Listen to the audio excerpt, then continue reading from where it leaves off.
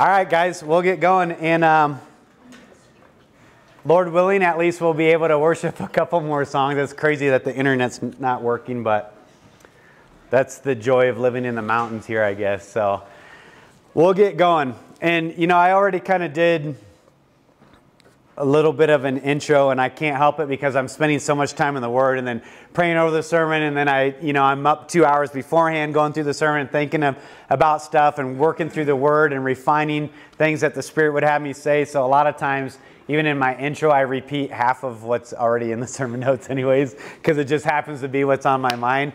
But as we get going today, um, again, I cannot overestimate the significance and the power of Christmas or Advent, whatever word you want to choose to use it. And again, it is the most grievous thing that the word Christmas or Merry Christmas is offensive to Christians. It's the most insane thing. And I'll just say it again for the online listeners uh, it is a satanic panic, asymmetric warfare on the glory of Christ, excuse me, and the magnification of Christ for people to willingly choose to be offensive, abusive, arrogant, treacherous, rash, conceited, lovers of pleasure, lovers of their knowledge, always learning, never able to come to an understanding of the truth, that Christmas is somehow pagan. It is not pagan in any way, shape, or form. Though there may be things that have adopted it as paganism, though the Swiss Alps paganism of St. Nicholas and Krampus and all that freak show stuff, though the secular world may seek to commercialize aspects of this season, of this Advent season, it is all about the magnification of Christ, hence Christ Mass.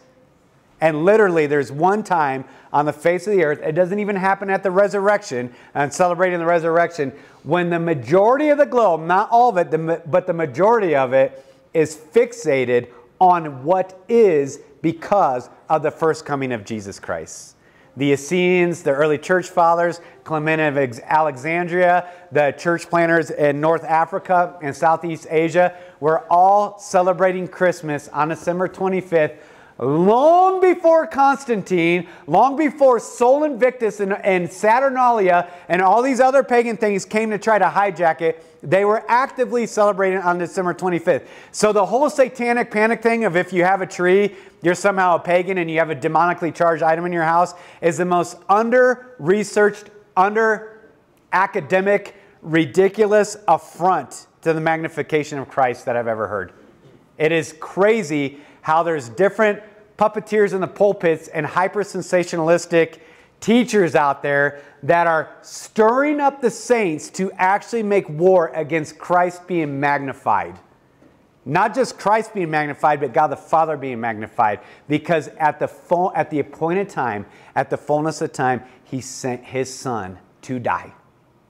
How in the world could we not magnify that?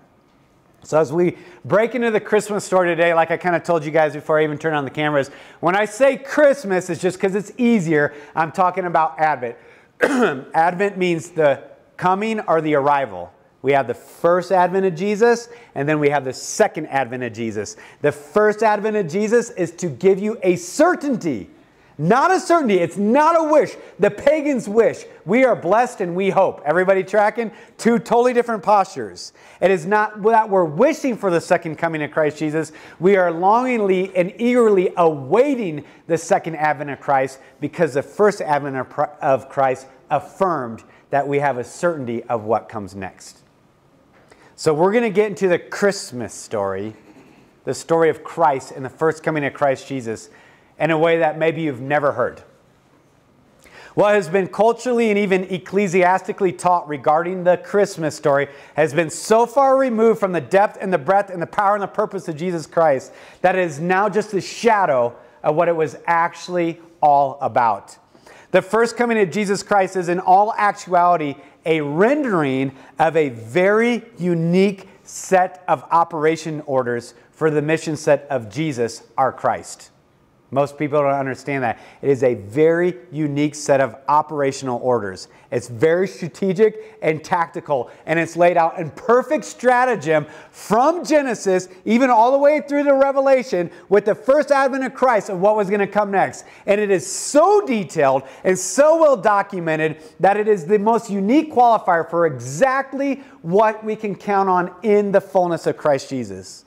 So, therefore, to have a reductionist worldview, of uh, the first advent of Christ is to have a reductionist worldview of all of Christ Jesus.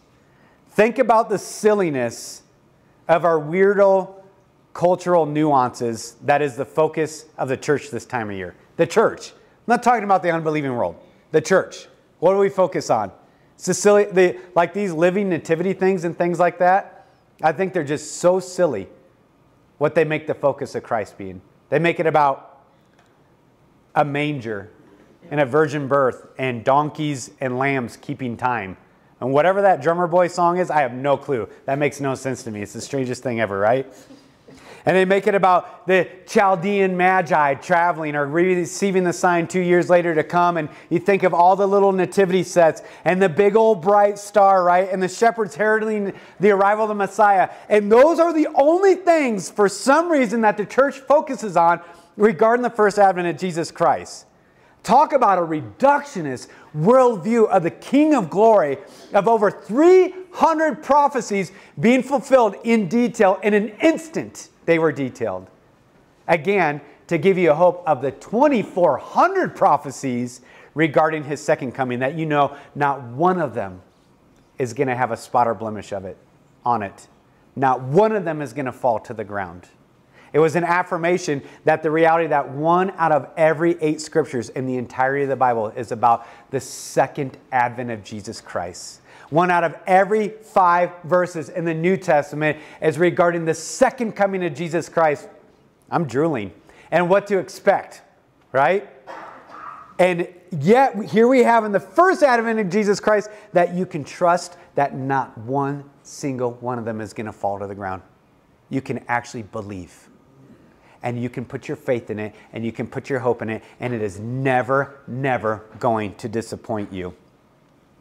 Although there are amazing, nuanced prophetic details contained within each of these aspects that I say are kind of silly what we focus on, there are amazing details and nuanced, powerful things contained within them. There is so much more going on. Side note, did you guys know why the shepherds is a big, a big deal in the story of Christ? Does everybody know what's going on with those shepherds? That the angel appeared to the shepherds first? They weren't just any shepherds, they were a very particular cast of shepherds who were tasked with specifically fulfilling aspects of the law for the Levitical priesthood for the temple. In fact, they were the shepherds that were tasked with raising spotless lambs for the atonement for the sins of Israel. Did you know that? He didn't just appear to any shepherds. Every little detail was saying, This is who my son is. And what he's getting ready to do is to shape their hearts and to point their hearts and to show them that he is exactly what I said he is. And he will be the true and better atoning sacrifice, the lamb who is slain, who is silent before its shears for the covering and the remissions of the sins of the whole world. So there's all kinds of powerful, nuanced things contained within those aspects of what we would call the Christmas story. But unfortunately, most people just don't know the power of what is happening. Oh, I could go on about that. That goes on forever. The actuality of the Christmas story is that it was the first fruit fulfillment of over 300 prophecies, giving us an assurance of the later fulfillment of over 200, 2,400 prophecies regarding Christ's second coming. The mind blowing actuality is that God Himself so loved the eternal souls of men that He set aside all of His rights. His deity, for a lack of a better word, for a time, for a brief moment in time, He set aside. Is that not the fullness of meekness? Meekness is a setting aside of your rights. He set them aside for a time to come to make war against all the arcane rebels of old, including death and Hades in the grave he came, set aside his rights as God to die. One singular mission set to die for you as an act of love in the middle of a war that you don't understand. See, this is a Christmas story that we just don't get, beloved. He set about on a rescue mission to liberate the enemy prisoners of war from the rusty fetters of sin and death, of hopelessness and despair, of fragility and weakness, of war and strife, of pride and religious narcissism, of loneliness and forsakenness. It is the account of just how far Yahweh Elohim, the God of gods, the King of kings, the Lord of lords, is willing to go for you. That is what the manger represents. Not a little swaddled baby with little goats and donkeys rejoicing around him. It was about this cosmic act and show, not in word only, but in deed, of how far He is willing to go for you and for me while we were dead in our trespasses, to set aside his deity, to be veiled in flesh. It says to humble himself, taking on the very form of man, being in likeness man. He did not consider equality with God something to be grasped. And because he did that, because he was obedient to come in flesh all the way to the death, death on the cross, that's why it says his name is exalted above every other name, that at the name of Jesus, every knee shall bow and every tongue confess that he is the Lord in heaven and earth and under the earth. That's how significant the Christmas story is, right? The Father said, Go, that they might be where I am also. And the Son said, I'll go. I'll go. That's what the Christmas story is centered on. The actuality of the Christmas story is that it led somewhere. The manger led somewhere. The manger led to the fullness of God being veiled in the flesh, which led to the initiation, the culmination of Genesis 3, cosmic warfare. I put Warfare between the seed of the serpent and the seed of the woman. It was the fulfill, it was the fulfillment and the fullness of this cosmic warfare set out in Genesis 3. The manger led to an immediate initiation of bloodshed against all the children in the region, which led to Egypt as a testimony of the nearing defeat of all the gods of old, which led to the temporary life of Jesus the Christ, God veiled in flesh, to enduring all of human experiences. All all human experiences to reprove the validity of God to be not only a true and perfect comforter for you, but also the long awaited, true, and perfect high priest who makes intercessions for you. And then that led to a sinless walk in our stead where you never could do it, which led to Golgotha as a witness to the consummate victory of the rebels of old. Most people don't know what was going on at Calvary or Golgotha. Why was he crucified at Golgotha? so nuanced, exactly what he said about redeeming and doing and restoring. And then that led to the fullness of an acceptable sin offering in our stead once and for all time, which led to the fulfillment of all the law and the cancellation of all the legal, legal writ that stood against you, which led to the justice of God being poured out on the cross on his son in your stead so that it wouldn't have to be poured out on you, which led to the Father turning his face away for a time so that he would never have to turn his face away from you which led to the grave and the meeting of death and Hades face to face in our stead, so we would never have to see death and Hades face to face. Which led to the piercing, the preaching to the rebels of old who reserved and changed, the preaching of the consummate victory and supremacy over Christ over all the powers of darkness. I win, you lose. Everybody tracking what the manger was all about?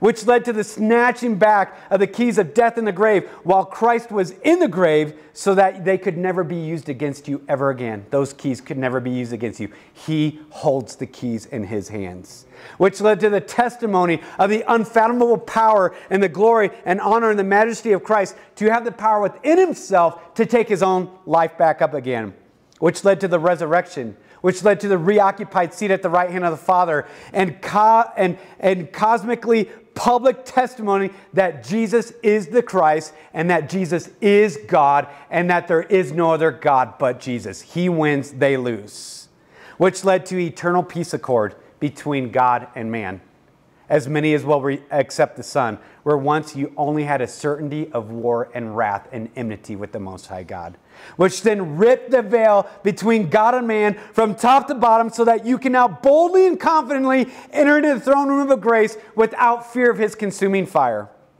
which freely opened the way for an intimacy of communion with the Lord God Almighty as much as you might intentionally desire to pursue which led to the provoking of the Jews to jealousy as they bear witness to the communion that we now have with the Lord because the veil was torn, so that they too might come know, know the Lord in communion and intimacy, and they might look on him who they pierced, and they would be saved also.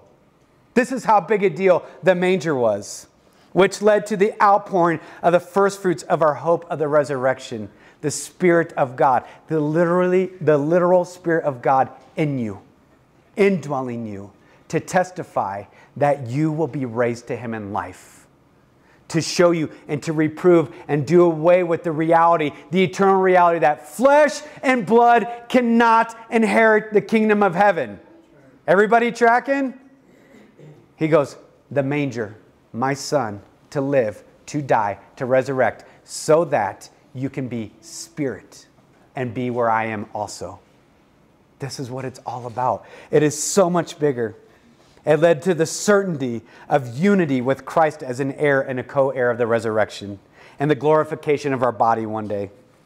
That indwelling of the Spirit, which has secured you an assurance of the restoration of what was lost from the get go. What was lost from the get go, beloved? Emmanuel, God with us. It was Emmanuel in the garden. We forfeited it. It was Emmanuel in the wilderness place. We forfeited it. It was Emmanuel in the tent. They forfeited it. Then it was Emmanuel in the temple. Then Ichabod was written over them. They forfeited it. Then it was Emmanuel literally walking on the earth. If you've seen me, you've seen the Father. Emmanuel, I'm here, God with you. And they murdered him for it.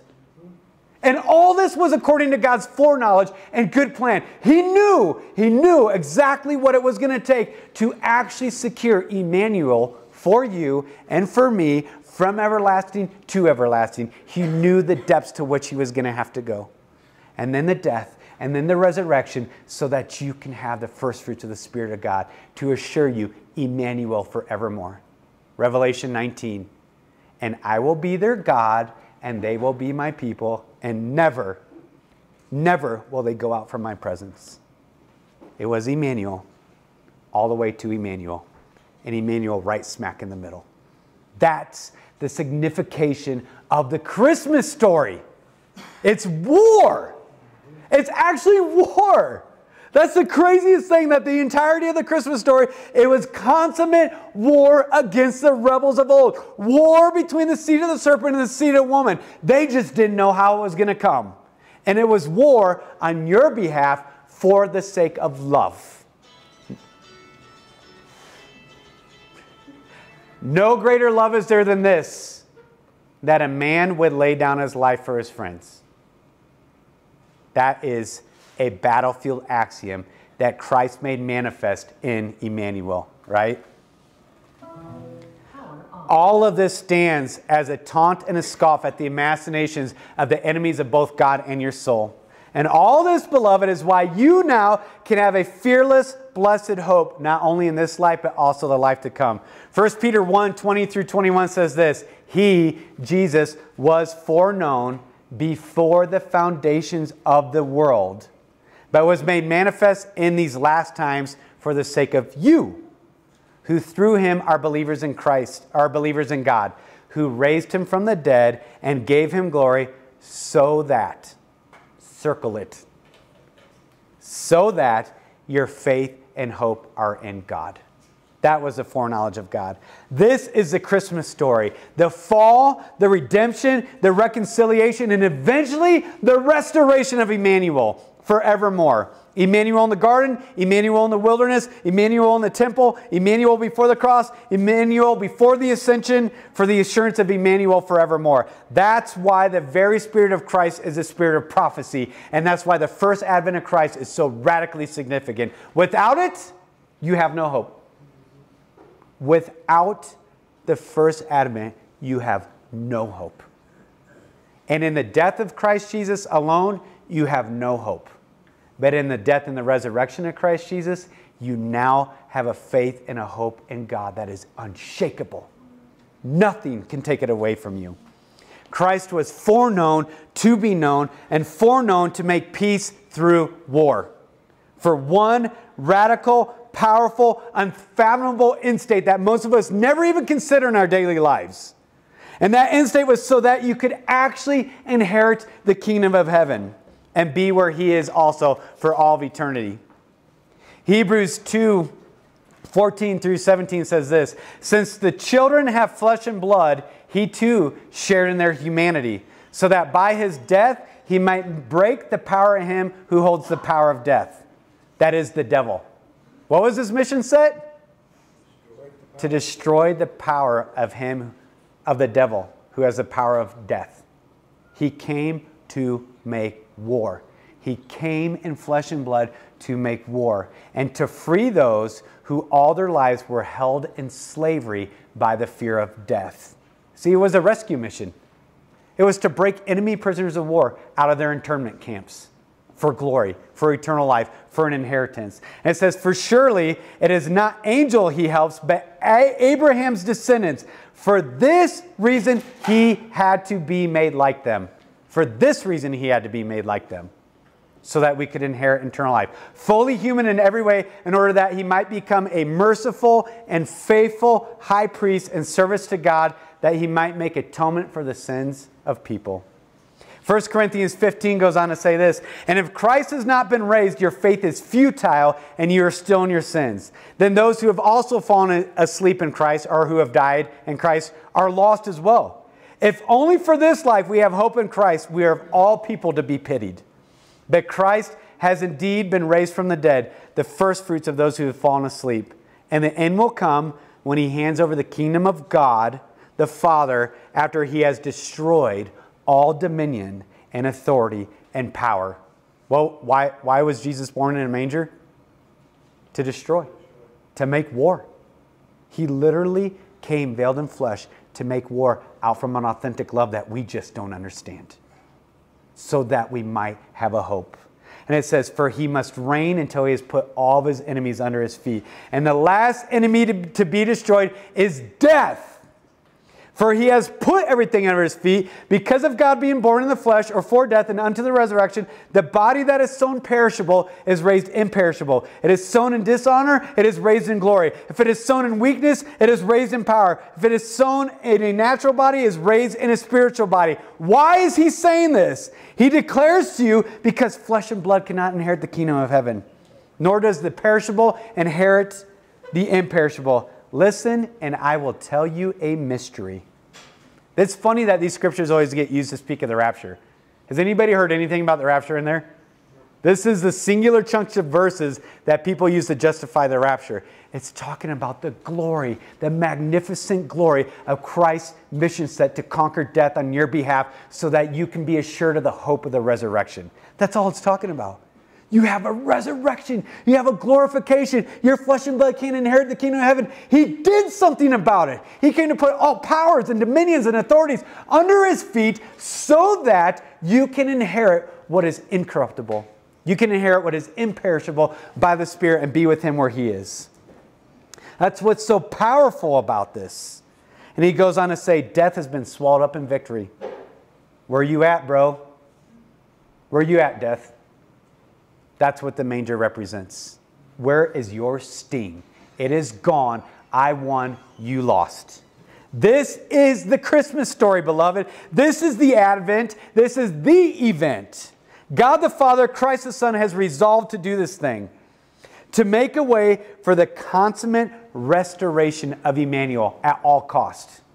And I ask people all the time if that's the lengths to which he was willing to go for you while you're his enemy, what in the world is he going to withhold from you now that he calls you friend? I say that all the time with all the tumultuous things going on in people's spirits and people's lives. I can point to the first Advent and go, Do you understand what he did for you at his first coming? The lengths to which he went while you were his enemy, while you were hopeless, while you were in despair, while you were dead, while death had its hooks in your flesh, and why death and Hades held the keys to the grave. And when you were so far from Him, reprobate in every thought and intention, this is the lengths to which He went for you. What in the world is He going to withhold from you now? He calls you son. He calls you daughter. He calls you heir. He calls you co heir. He says, I'm giving the first fruits of my spirit. I'm making you a promise. It is certain, it is unshakable. Whosoever calls on my name, they will be saved. And the powers of hell will not prevail against you because I already made war against them and I won. This is the Christmas story, beloved. This is a Christmas story that nobody wants to talk about. Donkeys and mangers and magi. That's not what it was about. The Lord wants to afford us an eternal rest and delight in His presence, in which He says, and never will they have to depart from it. Well done, good and faithful servant. Enter into your master's rest. Rest. Some translations say joy. Enter into your rest. And he says, and never will they have to depart from it. That's what the Christmas story is centered on. Christ Jesus was foreknown, beloved, foreknown before the foundations of the earth. He had a mission set. That is why he came veiled in the flesh. Foreknown before the earth was even created that everybody was going to reject him. There was no plan B. Everybody tracking? There is no plan B going on here. Oops! Oh, didn't see that coming in the garden. I didn't know the Nakash, the accuser, the Hasatan, the seraphim, was going to deceive Adam and Eve in the tree of knowledge of good and evil and make them rebel against me. Oh, didn't see that. Okay, we got to come up with a plan B for redemption. There is no plan B going on. Foreknown from the foundations of the earth, foreknown before the foundations of the earth to be a sacrifice for the atonement of your sins, foreknown to die. God Himself created it knowing exactly what it was going to look like. It's powerful, foreknown, predestined, foreordained to put in place this plan and this mission set for us. Foreknown for war. Began in the garden, war, culminates in the valley of Megiddo, war, and everything in between. The Son of Man was made manifest for this reason. 1 John 3 8. Why? That he might destroy the works of the evil one. Listen, gents, you think I came to bring peace? You got it all wrong. I'm here on a mission set. I got a singularity of mission to glorify my Father. And to glorify my Father, I came to bring a sword. And I came to make war for them, for you. You don't understand why I came. And he goes on and on and on. Colossians 2:15, he came to disarm the rulers and authorities and put them to open shame by triumphing over them in the cross. This is a Christmas story itself. One of the King of glory, the Savior of all of mankind, being born into bloodshed of the mass murder of children and of principalities and Egyptological things that we don't even understand, of principality based mechanisms, of the doctrine of total warfare. He was born right smack in the middle of it to take the fight to the enemy. So much so that he knew the only way was to actually go to the cross to death so that he could get to the enemy's headquarters and death and Sheol and actually do a tactical decapitation of all of their mechanisms. That is why Christ was born in a manger, was for that particular mission set. Jesus was foreknown for death. He took on death so that he could literally die, so that whoever would believe in him would not have to in your place. Death has no sting for you because he already felt it. He took it so you don't have to. He took the reproach of his father's turning his face away so that you would never have to look on the father's back. He did it all for you for love's sake. Acts 3:18 says this, but the things which God announced beforehand by the mouth of all the prophets that his Christ would suffer, he thus fulfilled the first advent of Jesus Christ. He was despised and rejected by man, a man of sorrows and acquainted with grief. Men hid their faces from him. He was despised. They esteemed him not. He was borne our griefs. He carried our sorrows. He was stricken, smitten by God, and afflicted. He was pierced for our transgressions. He was crushed for our iniquities, not for any of his own. Upon him was the chastisement that brought us peace and with his wounds we were healed. God laid on him the iniquity of all. He was oppressed, he was afflicted, yet he opened not his mouth like a lamb. He was led to the slaughter. Remember the shepherds that God met first? By oppression and judgment he was taken away for his generation. They made his grave with the wicked, yet yet it was the will of God to crush him. Jesus was born, came in the flesh by the mission set in the will of God, agreed upon before the foundations of the Lord to be crushed by his own Father so that you wouldn't have to. Is this insane? Do we not understand what Christmas is about? That's why I get so offended. People, the Christians are making war on magnifying Christ. I don't care what day you do it. Do it on September 11th. Do it on whatever day you think he was born. Magnify the Christmas, the Christ, the first advent of Jesus with all your heart, mind, and soul because you have nothing apart from it. Nothing. You magnify him and you delight in him and you glory in him and you fall on your face like a dead man in his presence. And then you rise and you shout for joy in his presence and you do it all because Christ willingly obeyed the Father to satisfy his mission set to be crushed for you so that you wouldn't have to be. Acts 2 23 to 28 says this This Jesus, who was delivered up or sacrificed, according to the definite plan and foreknowledge of God. According to the definite plan and foreknowledge of God. This Jesus was sacrificed according to that. You crucified and killed by the hands of lawless men. God raised him up, loosing the pangs of death because it was not possible for him to be held by it. Praise God. That's where the manger led. Praise God. And why was Jesus foreknown for death?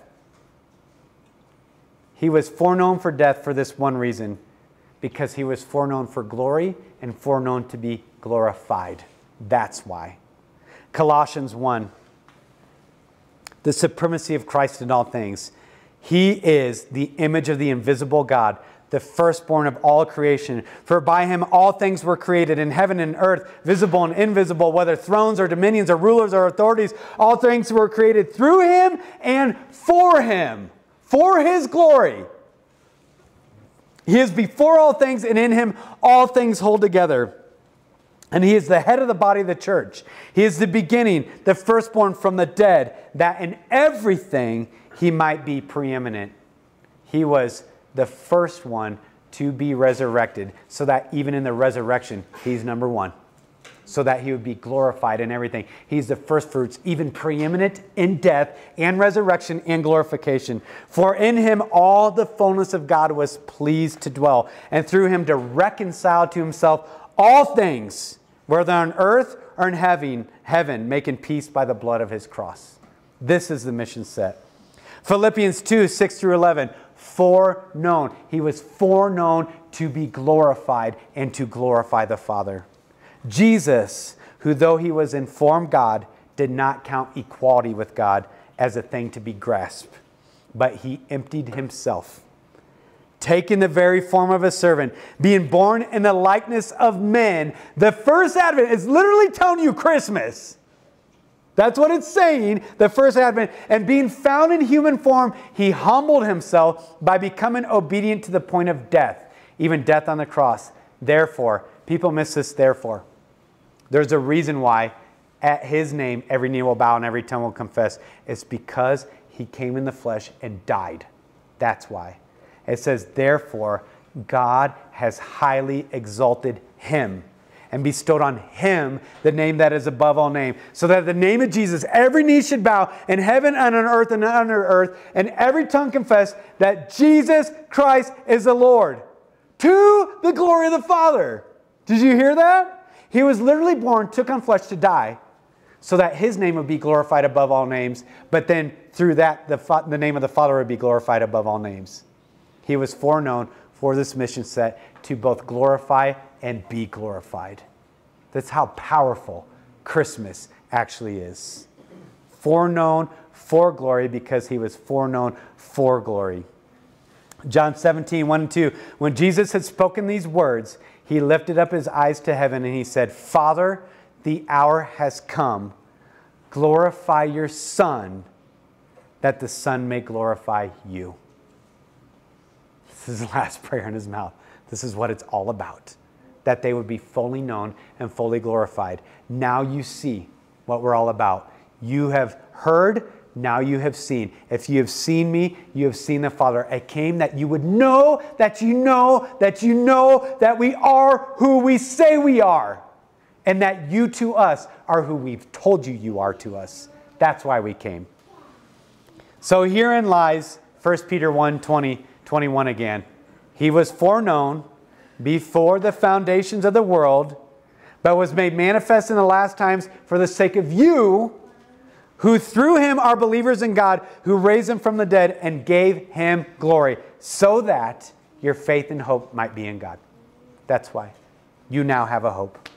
The supernatural birth of Christ, the death, the resurrections, prophecies fulfilled in perfection, so that you can trust the prophecies to be fulfilled, so that your faith and hope are in God, and this hope is never going to disappoint you, beloved. It's not going to fail you ever. It will never fail you. Though he came in obscurity and quietness of the night, swaddled lamb, raised for a short time until the appointed time of the sacrifice, to a people who were unaware and fullness of meekness and helplessness, subjected to the traumas and dramas of all this fallen world at his first coming, he is coming again soon, church. And his coming is not in obscurity, it's not in quietness, it's not removed from humanity. He is coming with a trumpet blast and the sound of the archangel, and the skies will roll back like a scroll, and the earth and the heavens shake and they tremble, and he roars like a lion on high. And it says, When the lion roars, who will not fear? Who can but prophesy when they hear this thing? And he rides out in justice and judgment as a warrior king on a horse to make war once and for all time for your sake first advent of Christ to give you an assurance of the second advent of Christ. And it's going to look radically different than when he came the first time. Messiah ben Joseph, the suffering servant. They were looking for a conquering king and they missed it. The next time he's coming for a conquering king and everybody's looking for a second a suffering servant and they're going to miss it. He's coming again, certain because he fulfilled everything at his first coming. It's so powerful you now have peace, beloved, because of war. It's actually a military doctrine peace through war. Christ Jesus made peace between you and God through war, through death, through the resurrection, from love, for hope, unto the glorification of our bodies, for an inheritance in a kingdom that cannot be shaken. Foreknown so that your faith and hope may be in God. So now, do we have a little bit more insight into what it means when they said, Joy to the world! Oh my goodness, we bring you good news of peace and goodwill towards men. Do you understand what we're doing here? Do you understand what's coming here? This is war. He is making peace through war. He is coming to die to live the life that you couldn't, to die to take the fight to the enemy, to conquer it once and for all time. Joy to the world. The trees clap their hands. The rocks cry out. All creation groans inwardly, worshiping. The angels declare his righteousness. Everybody is like, this is it. Finally. And we hear Christmas songs and they mean nothing to us because we don't understand the actual Christmas story. This is a Christmas story like you've never heard. Since this, therefore this we too have been foreknown to also glorify him and therefore be glorified. Ephesians 1 3 through 12 says, Blessed be the God and our Father, Lord Jesus Christ, who has blessed us in Christ with every spiritual blessing. How many spiritual blessings? Every. How many? Every. Every spiritual blessing in the heavenly places. Where are your blessings? Oh, good. I thought it was in my IRA and 401k.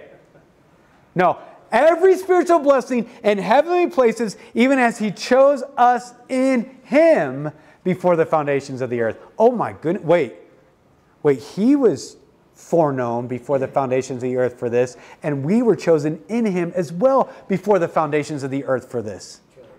Have you, do we, can we even conceptualize this? It's insane that we should be holy and blameless before Him in love he predestined us for adoption to himself as sons and daughters through Christ Jesus, according to the purpose of his will, to the praise of his glorious grace. you were chosen, you were foreknown. I'm not talking Calvinism, don't anybody misuse my words, but you were chosen, you were foreknown, you were predestined before the foundations of the earth to be in him for all spiritual blessings, so that where he may be, he might be also, so that you would glorify him alone. That's what you were foreknown for. To both glory and glorify. It's powerful. He says, In him we have redemption through his blood, the forgiveness of our trespasses, according to the riches of his grace, which he lavished on us in all wisdom and insight, making known to us the mystery of his will. I love when people say, I'm trying to figure out God's will. I wonder what God's will is for my I'm like, bro, I can tell you. I don't have to wonder. It says the mystery of his will has now been made known to you. It says, This is my will. He says that over and. I don't have to wonder what God's will is. His will is that he would be fully known and fully glorified by me as he is fully known and fully glorified by the Father as he seeks to make the Father fully known and fully glorified. It's a glory fest. That is the will of the Father. That is his will for your life. And it's made manifest in all these different ways. And it says, which he has set forth in Christ Jesus as a plan for the fullness of time to unite all things in him, things in heaven and in earth. This is the culmination of the warfare. And it says, In him we have attained an inheritance. Flesh and blood cannot inherit, inherit the kingdom of heaven. He came in a manger for your inheritance. Having been predestined according to the purpose of him who works all things according to the counsel of his will, so that we who were the first to hope in Christ might be to the praise of his glory. That's why. So that so that you might be to the praise of his glory. That's why Christmas. That's why Christmas matters. So now, beloved, this is the good news that your ears have heard. Amen? Amen? This is the peace on earth that you are to cling to. Is there peace on earth? Are you kidding me? There's not peace on earth. It's positional peace between you and God, where once there was only an expectation of war. This is the peace that you're to cling to. This is the joy to the world where once there was only despair. And this is the goodwill of the Father and the Son towards men. To all, a Savior is born. And now your hope of Emmanuel, God with you, is forever secure. That's why the manger, because it led somewhere. It led somewhere. It led to the cross which led to the empty tomb, which led to that reoccupied seat at the right hand of the Father, which led to the indwelling of the very Spirit of God Himself in you, which leads to an assurance of your inheritance, and it can never be taken from you. That's why. So, therefore, in summation, I'll say this very simply and emphatically with all of my heart Merry Christmas, everyone. Merry Christmas. Merry Christmas. What a merry, merry Christmas we get to enjoy. That's a wrap.